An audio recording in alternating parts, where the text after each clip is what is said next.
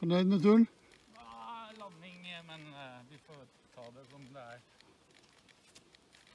på andre trimtur. Jepp.